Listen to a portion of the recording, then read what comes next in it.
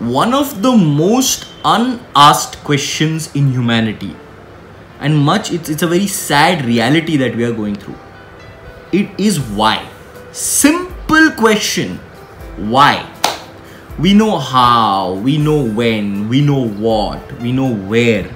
We know everything. We ask all these weird questions especially in science and the way our minds have developed.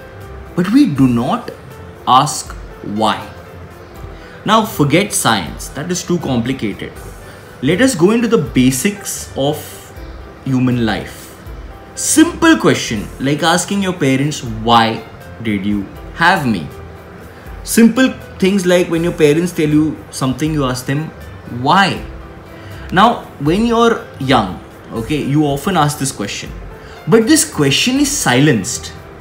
They often say, because. Because we are your parents. Society says, because I am society because I am feeding you, you must listen to me. My question, my request to you today is to make why culture. Because when when I say people don't think, I don't mean anything else except they are not asking the question why. So, my only thing is to make why culture. Ask why.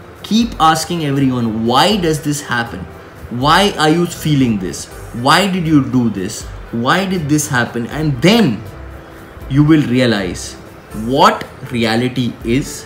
You will realize your reality more than anything because there is nothing more important than why